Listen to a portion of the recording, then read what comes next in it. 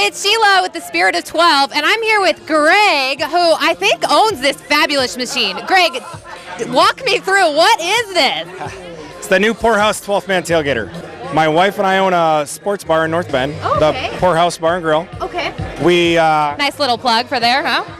we like to call ourselves the Seahawk headquarters in North Bend. Okay.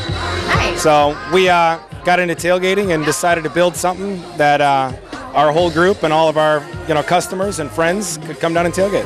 And new friends too, maybe. So I have to point this out. Does this work? Well, let me uh, do a little demonstration right here. I think I'm in love. I'm not going to lie to you. And so, what do you have here? Is this what you serve just at your beer or at your bar, or? Yeah, this is Widmer Hefeweizen and Bud Light.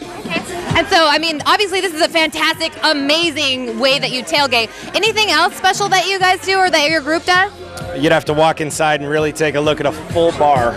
A full bar. So, are you inviting me in? All right, well, let's go in. Wow! This, if you guys can see, is truly amazing. It's phenomenal. First of all, there are green wood floors, custom, I'm sure, Custom. and the Seahawks logo. Little bit of the old school colors, but I kind of like the old school. It was meant to be that way. Oh, nicely done. Okay, little old school, little new school. Custom leather. Let's interview the wife. What's your name? I'm Dottie. When you were building this, any uh, any issues? Any um? Issues, yes. Issues with the husband. wait, wait, wait. What do you mean? What kind of issues?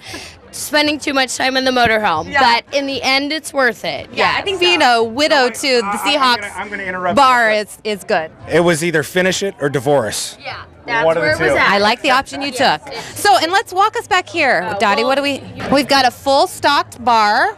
Stock bar back Okay. So you've got you've got the gun, the Wonder Gun on there. You've got Mm-hmm. oops, all the oops, sorry, all the liquor on there. Very nice. Two kegs in the back. Okay. The cooler. Well, thanks so much, and hopefully next time we'll see you, you can reveal. We can do a big reveal of some of your new upgrades, huh? I'm hoping to. Okay. Well, thanks so much, and we'll see you guys soon.